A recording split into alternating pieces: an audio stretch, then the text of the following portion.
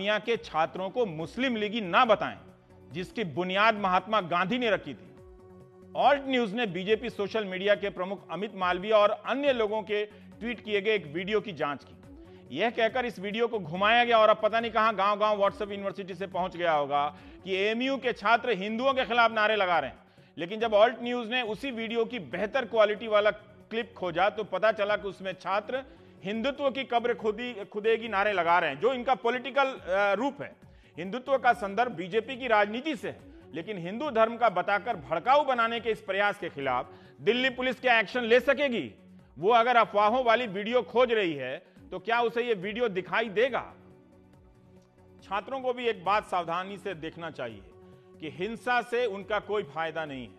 यह उनकी भी ज़िम्मेदारी प्रदर्शन की उग्रता इस मकाम पर ना पहुँचने दें कि हिंसा की संभावना आशंका दिखने लगी और नारों की भाषा